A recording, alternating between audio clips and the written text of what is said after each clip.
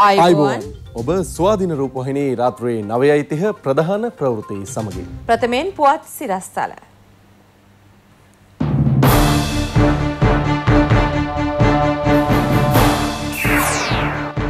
ඡන්ද පෙට්ටි සමග පක්ෂ නියෝජිතීන්ටත් රැය පහන් කිරීමට අවසර.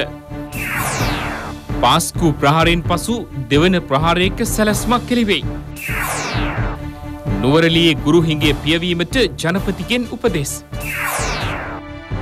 කටුනායක ගුවන්තොටේ පහසුකමුත් ආරක්ෂාවත් වැඩි කෙරේ. කටුවාපිටිය දේවස්ථානයට මරාගෙන මැරෙන ප්‍රහාරයක් එල්ල කළ හස්තූන් නැමැති ත්‍රස්තවාදයාගේ බිරිඳ සයින්දමරුදු පිපිරීමෙන් මියගිය බවට මෙතෙක් තහවුරු වී නැති බව පාස්කු ප්‍රහාරය පිළිබඳ සොයා බලන ජනාධිපති කොමිසම හමුවේ හෙළිවුණා.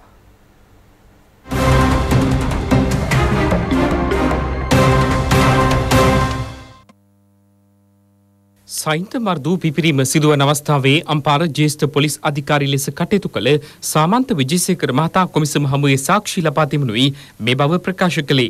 ඔහු තවදුරටත් කියා සිටියේ සයින්ද මර්දු පිපිරීම සිදු වූ නිවස ඉදිරිපිට මාර්ගයේ තිබී රුපියල් 9,85,000ක් 500 කොළවලින් තිබී සොයාගත් බවයි.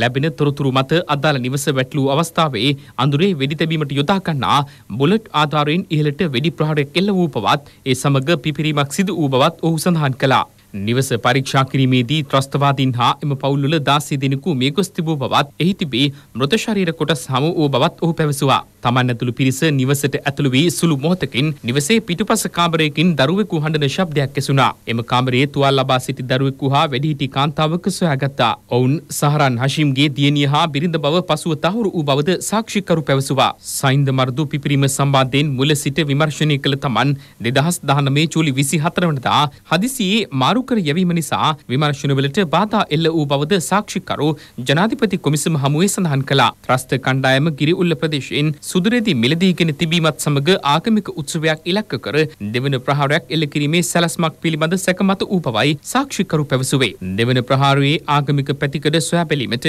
සහරන් හෂිම්ගේ සොයුරු ශෛනී පත් කර තිබුණා. ඔහුගේ අනෙක් සොහයුරා රිල්වාන්ට අනෙකුත් පැති බාරදී තිබූ බවද සාක්ෂිකරු හෙළි කළා. මේ අනුව එම ත්‍රස්තීන් හා සම්බන්ධ බොහෝ පිරිසක් අත්අඩංගුවට ගැනීම තම ස්ථාන මාරුව හරහා වැළකී කී බවයි සාක්ෂිකරු කියා සිටියේ. කටුවාපිටිය දේවස්ථානයේ මරාගෙන මෙරෙන ත්‍රස්තයාගේ පිරිත පුලස්තිනි මහින්ද්‍ර නෝත් සාරා ජස්මින් පිළිබඳ මෑතකදී අනාවරණය වූ කරුණු සම්බන්ධයෙන් ජනාධිපති විමර්ශන කොමිසමේ විමර්ශන නිලධාරියෙකු වන ප්‍රධාන පොලිස් පරීක්ෂක අර්ජුන මාහිල්කන්ද මහතාද සාක්ෂි ලබා දුන්නා.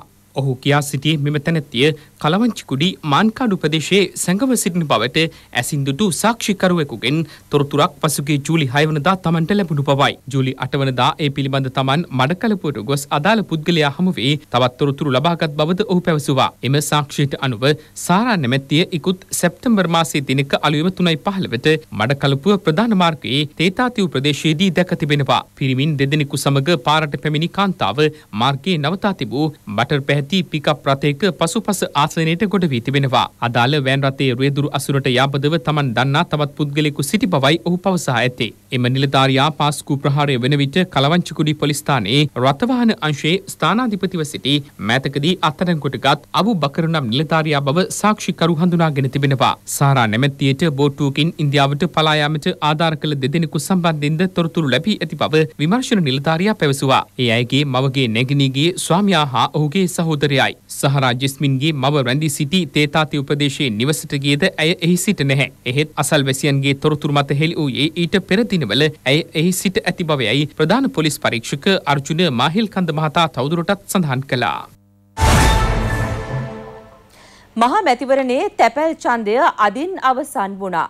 පසුගිය 13 වනදා සිට දින 7ක් ඒ සඳහා වෙන් කර තිබුණා. නිරෝධායන මධ්‍යස්ථානවල සිටින අය සඳහා ඡන්දය ලබන තිය හෝ 31 පැවැත්වීමට සැලසුමක් ඇති බවයි මැතිවරණ කොමිසම පවසන්නේ. මේ අතර ඡන්ද පෙට්ටිය ආරක්ෂා කර ගැනීමේ විශේෂ වැඩපිළිවෙලක් ක්‍රියාත්මක කරන බව එම කොමිසම පවසනවා. මැතිවරණ කොමිසමේ සභාපති මහින්ද දේශප්‍රිය මහතාගේ ප්‍රධානත්වයෙන් මැතිවරණ කොමිෂන් සභාවේදී මාධ්‍ය ආයතන ප්‍රධානීන් සමග සාකච්ඡාවක් පැවැත්වුණා. එහිදී මහින්ද දේශප්‍රිය මහතා කියා සිටියේ ඡන්ද පෙට්ටි ආරක්ෂා සහිතව ආවරණය කිරීමටද විශේෂ වැඩපිළිවෙලක් ක්‍රියාත්මක කරන බවයි. පක්ෂ නියෝජිතින්ටද රාත්‍රී කාලයේ ගණන් කිරීමේ මධ්‍යස්ථාන තුල රැඳී සිටීමට අවස්ථාව ලබා දීමට තීරණය කර ඇති බව ඒ මහතා මෙහිදී පැවසුවා. මේ අතර මහින්ද දේශප්‍රිය මහතාගේ ප්‍රධානත්වයෙන් මාධ්‍ය හමුවක්ද පැවැත්වුණා. අනික් අතට අද කමිෂන් සභාව තවමත් සාකච්ඡා කරනවා එක තීරණයකට එළඹුණා. නිරෝධායන යට ලක්වෙමින් සිටින සියලු දෙනාගේම ඡන්ද බලය කමිෂන් සභාව ආරක්ෂා කරමු. නමුත් ඒ කිසිවෙකු සාමාන්‍ය ඡන්ද මධ්‍යස්ථානවලට එන්නේ නැහැ. ඒක නිසා අනිකුත් ඡන්දදායකයන් හරි නිලධාරීන් හරි කිසිදු ආකාරයක බියක් ඇති කරගන්න ඕනෑ නැහැ. එම ඡන්ද හිමියන්ට තැපල් ඡන්දාකාරයේ වැඩසටහනකින් ඡන්දය ලකුණු කිරීමට ඉඩ දීම ඔවුන්ගේ රහස්‍යභාවයත් ආරක්ෂා වෙන පරිදි. අපිට තව එක ප්‍රශ්නයක් තියෙනවා. සංචරණය සීමා කරපු ලොක්ඩවුන් කරපු රාජාංගනේ සමහර අය ඉන්නවා රාජාංගනේ ඡන්දදායකයෝ නෙවෙයි වෙනත් තැන්වල ඡන්දදායකයෝ. ඒ වගේම වෙනත් තැන්වල උදාහරණයක් කොළඹ ඉන්නවා රාජාංගනේට ඡන්ද දාන්න ඕන අය. ඒ අය සම්බන්ධයෙන්ොත් අපි තොරතුරු එකතු කළා. ඒ තොරතුරු තැපල් ඡන්දවලට ගන්නම් රාජාංගනයේ ප්‍රදේශයේ නැවතීමට සිදුවී ඇති වෙනත් ප්‍රදේශවල ඡන්දදායකයන් ඉන්නවා නම් ඔවුන්ගේ තොරතුරු අනුරාධපුර මැතිවරණ කාර්යාලයට දන්වන්න. ඒ අයගේ තොරතුරුත් අනුරාධපුර මැතිවරණ කාර්යාලයටත් රාජගිරිය මැතිවරණ මහලේකම් කාර්යාලයටත් දන්වන්න ලේසිම ක්‍රමය තමයි බින්දුවයි හතයි එකයි අනූ එකයි හැටදාහ කියන අංකයට ඒ තොරතුරු WhatsApp හරි Viber හරි මගින් එවන එක. හැබැයි නම නිශ්චිත ලිපිනය සහ ජාතික හැඳනුම්පත් අංකය එවීම අත්‍යවශ්‍යයි. බිඳුවයි එකයි එකයි දෙකයි අසූ හයයි අසූ හතරයි හතලිස් පා කියන අංකයට පැක්ස් මගින් එවන්නත් පුළුවන්. නුවරඑළිය දිස්ත්‍රික්කයේ පාසල්වල ගුරුහිඟේ ඇතුළු අඩුපාඩු විමර්ශනය කර විසඳුම් දෙන ලෙස ජනාධිපති ගෝඨාභය රාජපක්ෂ මැතිතුමා නිලධාරීන්ට උපදෙස් ලබා දුන්නා.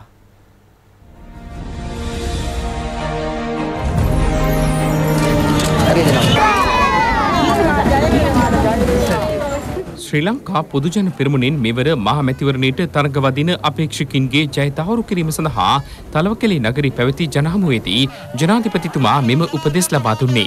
එම පෙරමුණේ අපේක්ෂක පළනි ශක්තිවේල් මහතා ජනහමුව සංවිධාන කර තිබුණා. එම අවස්ථාවට අපේක්ෂක ජීවන් තොණ්ඩමන් මහතා දික්ව සිටියා. ගුරුහිඟය පියවීම සඳහා නුවරඑළිය හා ආසන්න දිස්ත්‍රික්කවලින් ගුරුවරුන් පත් කිරීමට ජනාධිපතිතුමාගේ අවධානය යොමු වුණා. පාසල්වල ක්‍රීඩා හා විෂය බාහිර ක්‍රියාකාරකම් සම්බන්ධයෙන් සිසුන් ඉදිරිපත් කළ ගැටලු වහා විසඳීමට සැලසුම් කරන ලෙසයි ජනාධිපතිතුමා නිලධාරීන්ට දැනුම් දුන්නේ. ලිදුල නගර සභාවේ දූෂණ හා අක්‍රමිකතා සිදුවන බවයි ජනතාව ජනාධිපතිතුමා වෙත දැනුම් දුන්නේ.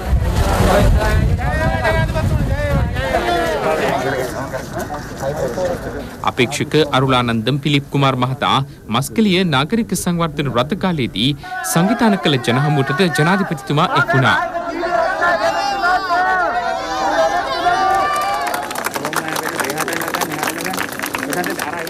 අපේක්ෂක රමේශ්වරන් මහතා පූන්ඩුවේ නගර සභා ක්‍රීඩාංගණයේ සංවිධාන කළ ජනහමුවක්ද පැවැත්වුණේ ජනාධිපතිතුමාගේ ප්‍රධානත්වයෙන්.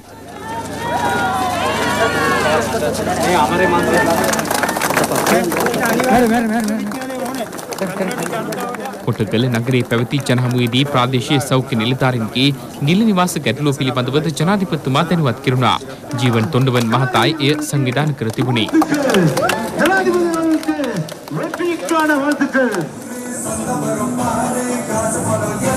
අපේක්ෂක කනකපති කනගුරාජ් මහතා නොවුට් තොණ්ඩමන් ක්‍රීඩාංගණයේදී සංවිධාන කර තිබූ ජනහමුවටද ජනාධිපතිතුමා එක් වුණා.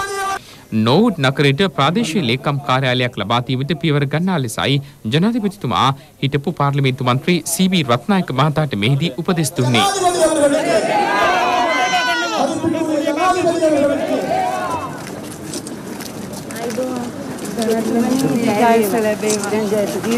ගෙගරි වැව අසලදී පැවති ජනහමුවටද ජනාධිපතිතුමා එක්වුණු අතර එම අවස්ථාවට ප්‍රවීණ ක්‍රිකට් ක්‍රීඩක මුත්තයියා මොරලිදරන්ද එක්ව සිටියා.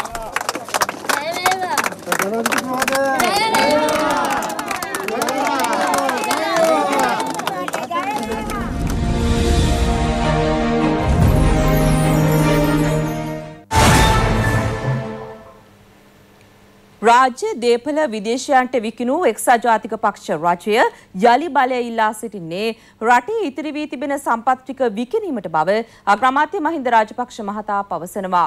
දේශද්‍රෝහී කොන්දේසිවලට යටත් නොවන ශක්තිමත් ආණ්ඩුවක් යළි ගොඩනගන බවද අග්‍රාමාත්‍යවරයා කියා සිටිනවා. කුණ්ඩසාලේ ප්‍රදේශයේ පැවති ජනහමුවකට එක්වමින් අග්‍රාමාත්‍යවරයා මේ බව ප්‍රකාශ කළා. ශ්‍රී ලංකා පොදුජන පෙරමුණෙන් මහනුවර දිස්ත්‍රික්කයට තරඟවදින අපේක්ෂකින්ගේ ජයතහවුරු කිරීම සඳහායි ජනහමුව සංවිධාන කර තිබුණේ. මහනුවර දිස්ත්‍රික් අපේක්ෂක කෙහෙලි රමුක්වැල්ල මහතා ඇතුළු පිරිසක් මෙම අවස්ථාවට සහභාගී වුණා. අවුරුදු ගණනාවක් නොතිබුණු සංවර්ධනයක් අපි කරා. අධිවේගී මාර්ගාව අලුත් ගුවන් තොටුපළවල් ආවා. වරායන් හැදුනා රටට කියලා. කොහේ වරායක් හැදුවත් එක හම්බන්තොට වෙන්න පුළුවන් එක ගාල්ල වෙන්න පුළුවන් එක තිරුකුණාමලේ වෙන්න පුළුවන්. ඒ මුළු රටටම අයිති ඒ දේපල මේ දේපල ටික විකුණලා දැන් මං පහුගිය ආණ්ඩුවෙන්. වරාය වික්කා. ගුවන් තොටුපළ විකුණන්න ඔක්කොම දාලා තිබුණේ.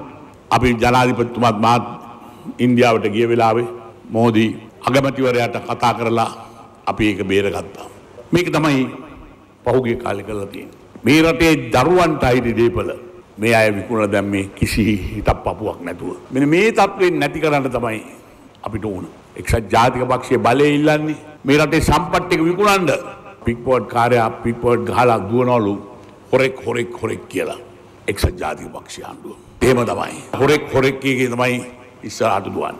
අපිත් එක් එක් අහුවෙන්න රටක් හදන්න.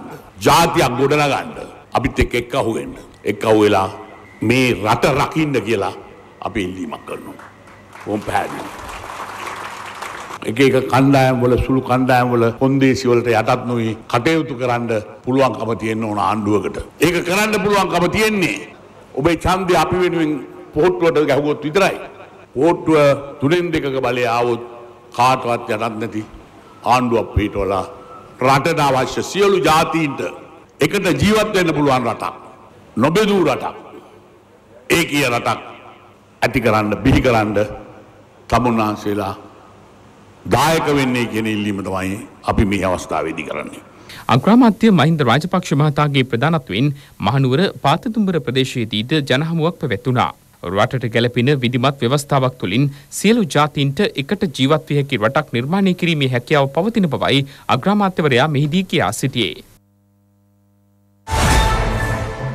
ජාත්‍යන්තරය සමග ගනුදෙනු කරමින් මෙරට ආර්ථිකය යළි නගා සිටුවීමට හැක්කේ තම රජයක් යටතේ පමණක් බව එක්සත් ජාතික පක්ෂයේ නායක රනිල් වික්‍රමසිංහ මහතා පවසනවා. අපේක්ෂක ෆයිරුස් හාජී මහතාගේ ජයතහවුරු කිරීම සඳහා පංචිකාවත්තේ පැවති ජනහමුවකදී ඒ මහතා මේ බව කියා සිටි.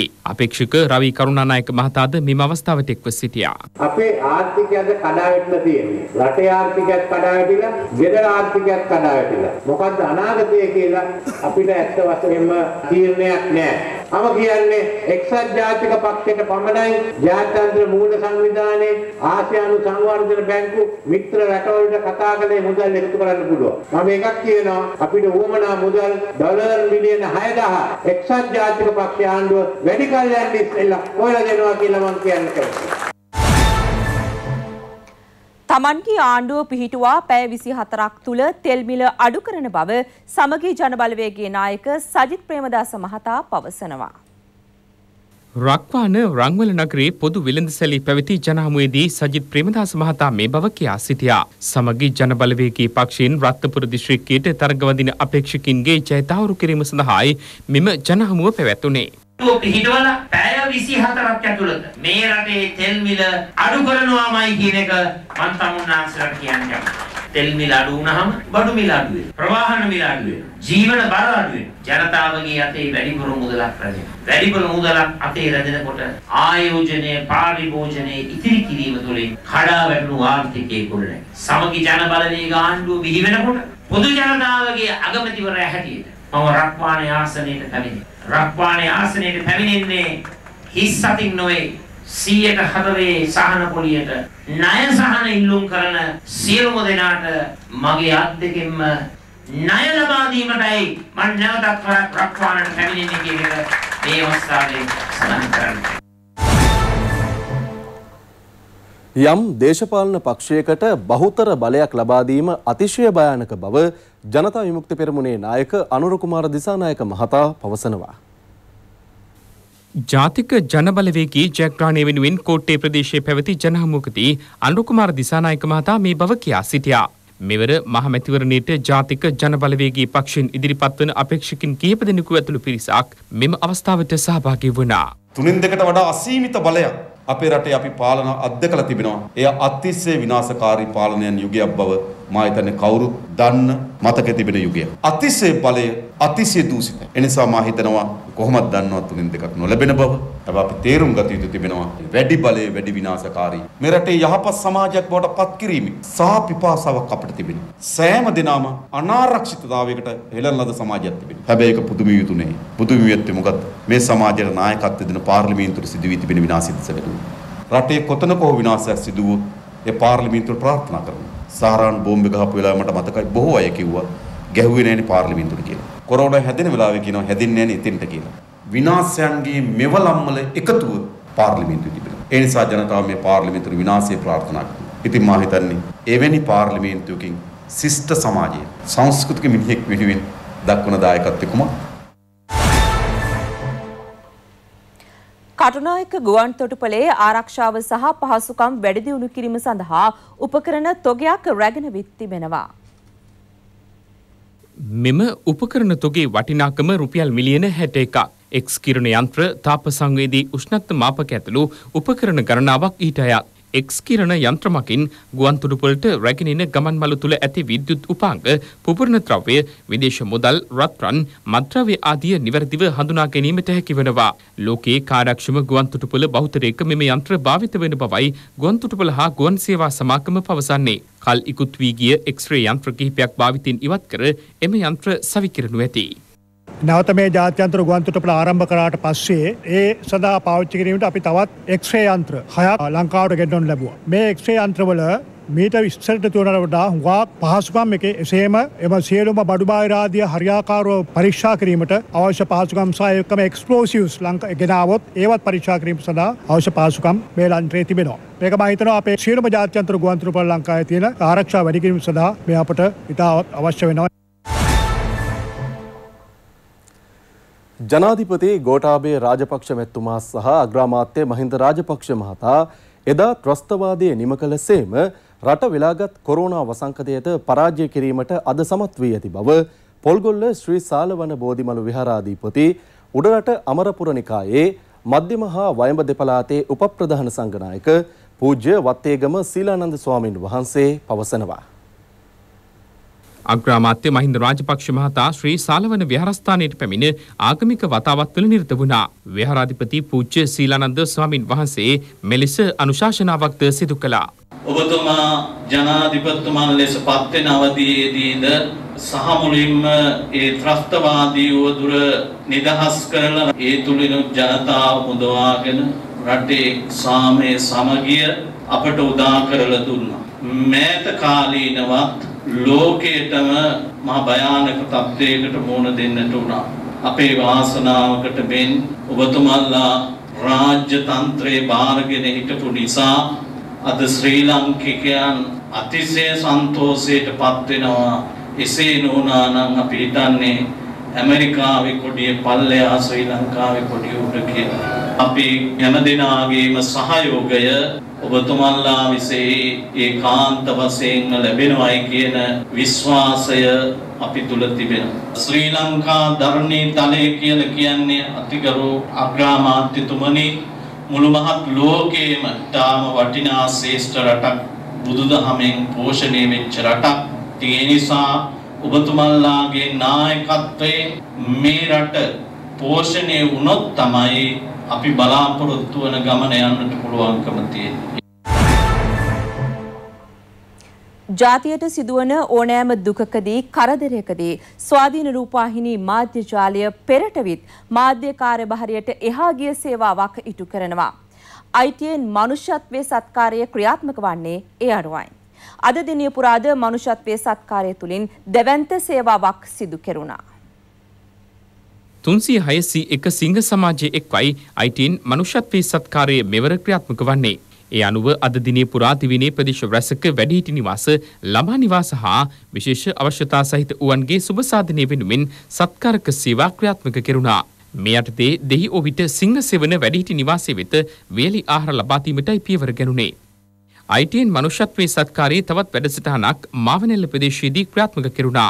මාවනෙල්ල ශ්‍රී අනෝමදස්සී වැඩිහිටි නිවාසී වැඩිහිටියන් වෙනුවෙන් වියලි ආහාර ද්‍රව්‍ය පිරිනැමීම සිදු කෙරුණේ මනුෂ්‍යත්වයේ සත්කාරක කණ්ඩායමේ සහභාගීත්වයෙනුයි. හිරැස්සගල ටිකිරි සෙවන රජයේ වාරගැනීමේ ළමා නිවාසේ දරුවන් වෙනුවෙන් වියලි ආහාර පිරිනැමීමේ තවත් වැඩසටහනක් ක්‍රියාත්මක කෙරුණා. ඒ අයිටන් මනුෂ්‍යත්වයේ සත්කාරය වැඩසටහනටදී තවත් අංගයක් ලෙසයි. සිය ප්‍රේක්ෂකින් වෙත තොරතුරු දැනුම රසවින්දිනය ලබාතීම පමණක් නොව ඔවුන්ගේ ජීවිත සැපවත් කිරීම සඳහාද ස්වාධීන රූපවාහිනී මාධ්‍යජාලය නිරන්තරයෙන් ක්‍රියා කරනවා. ඒ අනුව අද දිනය පුරා ක්‍රියාත්මක කළ වැඩසටහන් මාලාවේ අවසන් අධීර පැවැත්වුණේ මහයාවේදී. කොරෝනා ආසාධනය වූ නාවික හමුදා පොකුරේ සියලු දෙනා සුවය ලැබුවා. ඒ මෙරටින් වාර්තා වූ විශාලතම කොරෝනා පොකුරේ අවසන් සාමාජිකයන් තුන් දෙනාද සුවය ලබා අද දිනේදී රෝහලෙන් පිටව යාමත් සමගයි.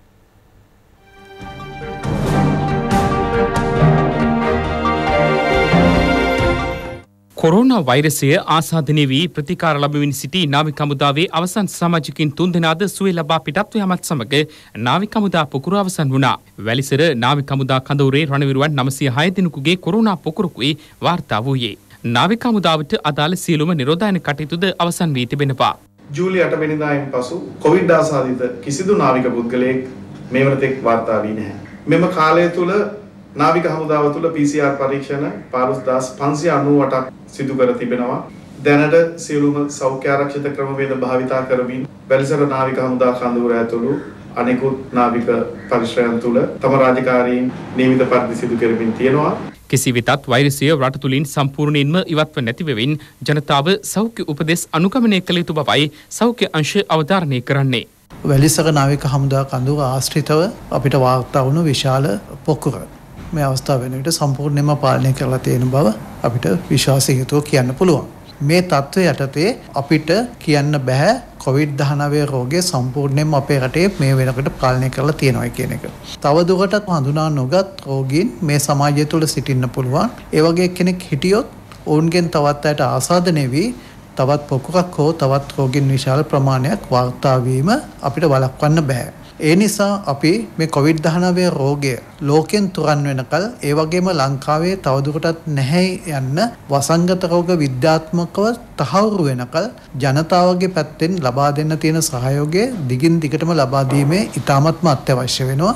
මෙවන විට සමස්ත දිවෙනින්ම කොරුණ රෝගින් දෙදහස් හත්සේ තියක් හඳුනාගත්තද නිදහස් හතලිස් අට දෙනෙකු සුවල පාතිබෙනවා. ඒ වාර්තා වූ රෝගින් හය දෙනාගින් පස් දෙනෙකුම සෞති අරාබියෙන් පැමිණි අය පවයි සෞඛ්‍ය අංශ සඳහන් කරන්නේ. අනෙක් පුද්ගලයා කන්දකාඩු පුනරුත්ථාපන මධ්‍යස්ථානයේ ආසාධිතයෙකුගේ ආශ්‍රිතයෙක්. ඔහු රාජාංගනය ප්‍රදේශයේ පදිංචිකරුවෙකු බවයි වාර්තා වුණේ. මෙවන විට රෝහල්ගතව ප්‍රතිකාර ලබන කොරුණ රෝගින් සංඛ්‍යාව හයිසි හැත්තෑ එකක්. ඉන්දියාවේ උත්තර ප්‍රාන්තයේ ලක්නව් අගනුවර මහා පරිමාණ නිරෝධායන කලාප හතරක් ප්‍රකාශයට පත් කර තිබෙනවා. ඊයේ දින සිට නැවතත් එම ප්‍රදේශය මුළුමනින්ම වසා දැමීමටයි පියවරගෙන තිබෙන්නේ.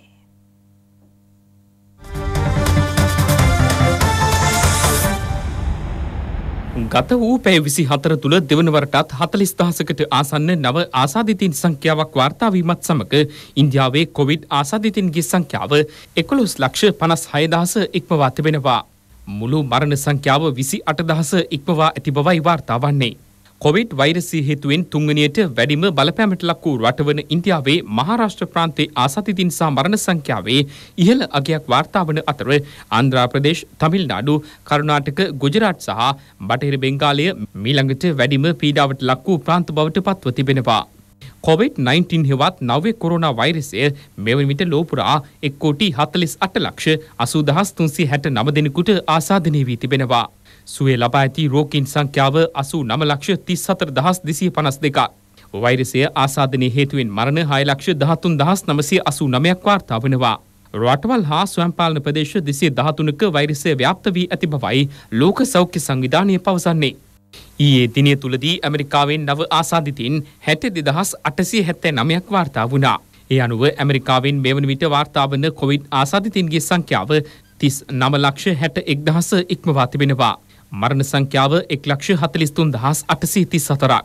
මෙතෙක් මුඛ ආවරණයට ගරහමින් එය ප්‍රසිද්ධියේ පැළඳීම ප්‍රතික්ෂේප කළ ඇමරිකා ජනාධිපති ඩොනල්ඩ් ට්‍රම්ප් සිය ස්ථාවරය වෙනස් කරමින් එය ප්‍රවර්තනයට එක්ව තිබෙනවා.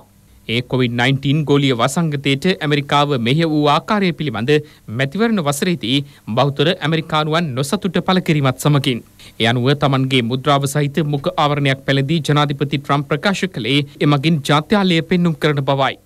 ඔස්ට්‍රේලියාවේ වික්ටෝරයා ප්‍රාන්තයෙන් ඊයේ දිනේදී නව ආසාදිතින් තුන්සිය හැත්තේ හතරක් වාර්තා වූ අතර පුද්ගල මරණ තුනක්ද වාර්තා වී තිබෙනවා.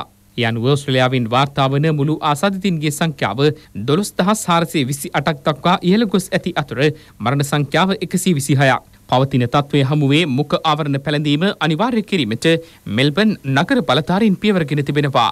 නීති උල්ලංඝනය කරන පිරිස් සඳහා ඔස්ට්‍රේලියා තුළ දෙසියක දඩයක් අය කිරීමටද කටයුතු කර තිබෙනවා. ඉරානයේ පුද්ගලයන් මිලියන විසිපහකට කොවිඩ් වෛරසය ආසාධනය වී ඇති බව වාර්තා වනවා. මිලියන අසුවකට වඩා වැඩි ජනගහනයක් වෙසෙන ඉරානයේ තවත් මිලියන තියක ජනතාව වෛරසයට ගොදුරුවීමේ අවධානම්ක සිටින බව ඉරාන ජනාධිපති හසන් රෞහානී පවසනවා. බ්‍රතාන්යේ ඔක්ස්පර්ට් සරසවි මගින් වැඩිදියුණු කරනු ලද COVID-19 එන්නත මූලික අධියරේ සායනික අත්තදා බැලිම්වලදී සාර්ථක ප්‍රතිඵල පෙන්නුම් කර තිබෙනවා. ඖෂධ නිෂ්පාදන සමාගමක් සමග එක්ව නිපදව ඇති මෙම එන්නත ලබා දී ඇත්තේ ස්වේච්ඡාවෙන් ඉදිරිපත් වූ සෞඛ්‍ය සම්පන්න පුද්ගලයින්ටයි. මිනිස් සිරුරේ ප්‍රතිශක්තිකරණ පද්ධතිය මගින් වෛරසය පිළිබඳ සටහනක් තබා ගනිමින් දිගුකාලීනව ඉන් රැකවරණ සැලසෙන බව ඔක්ස්පර්ට් වෛද්‍ය විද්‍යාඥයින්ගේ අදහස වී තිබෙනවා. තවද බ්‍රිතාන්‍ය දැනටමත් එන්නත් මිලියන සියක් ඇනියුම් කර ඇති බවද වාර්තා වනවා. මෙම එන්නත පෙර නොවවිරු වේගකින් වැඩිදියුණු කරමින් සිටින බවද වාර්තා වනවා.